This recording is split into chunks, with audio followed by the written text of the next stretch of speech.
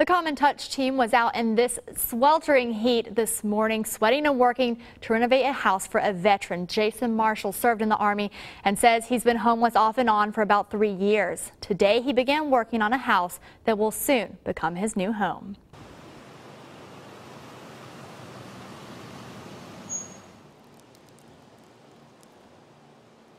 The master bath. We're going to enlarge it. To Ruby McMillan is helping transform oh, this house of blight into a home for veteran Jason Marshall. I came back thinking I'd be able to find a job with anybody because of the military background, but due to the medications that the service put me on and things that I've seen and witnessed in the service, it was a little difficult.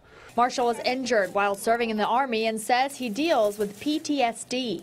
As a veteran, when you go try to serve your country, when you come back, you feel like I did this for my country. And when no one helps you, you feel thrown away, a castaway.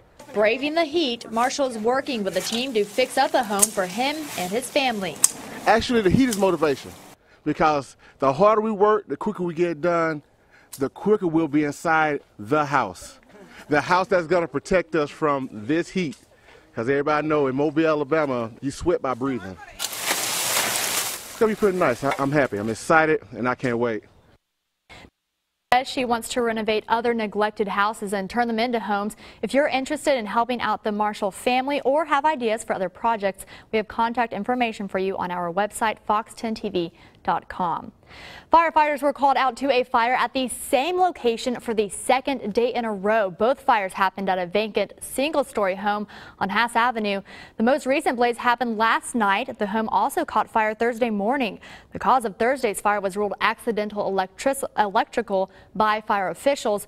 When firefighters arrived on scene last night, smoke was coming from the rear. The fire caused an estimated $8,000 in damages. The cause of that fire is still under investigation.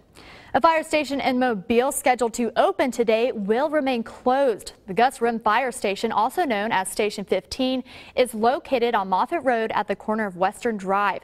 The station was closed due to renovations. Steve Huffman with Mobile Fire Rescue says an environmental study is being conducted at the station.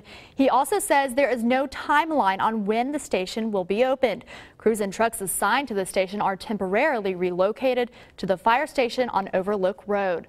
Police say a 49-year-old woman was struck and killed this morning in Orange Beach.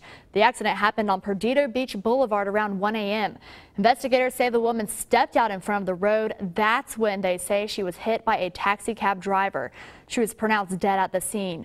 Orange Beach Police Chief Billy Wilkins says the woman was from Mississippi. She was in Orange Beach visiting friends. Her name is not being released until her family is notified.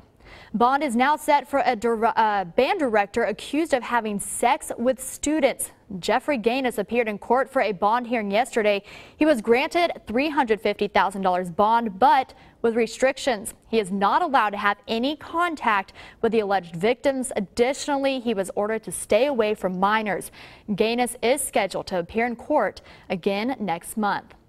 A Mobile woman who turned herself in for allegedly stealing thousands of dollars from an elderly man is now out on bond. 23-year-old Jessica McQueen there on your screen, uh, screen was booked into Mobile Metro Jail around 1 yesterday. Authorities say she made bail about an hour later and was released. She was working as a caretaker for a 93-year-old man. Police say she used the victim's debit card to buy about $2,000 worth of prepaid Visa cards. McQueen is scheduled to be back in court on September 8th.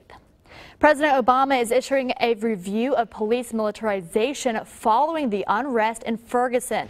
Plus, two rallies were held in Ferguson today, one for the unarmed teen that was killed and another for the officer that shot him. And an update on the indictment of Texas Governor Rick Perry.